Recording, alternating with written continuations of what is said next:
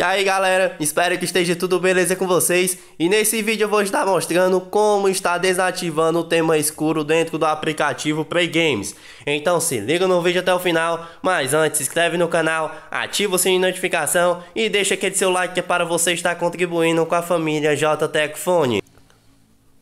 Logo após você ter entrado aqui dentro do aplicativo, vai estar vindo até os três pontinhos que tem aqui em cima do lado direito superior.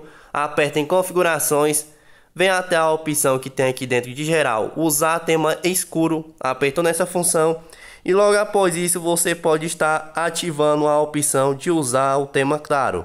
A partir desse momento você já configurou aqui dentro do seu aplicativo no modo tema sem ser escuro. Então é uma configuração básica de você estar realizando aqui no seu celular sem dificuldade alguma. E no mais, eu espero ter ajudado vocês com mais essa dica aqui dentro do canal. E até a próxima família JTech Fone.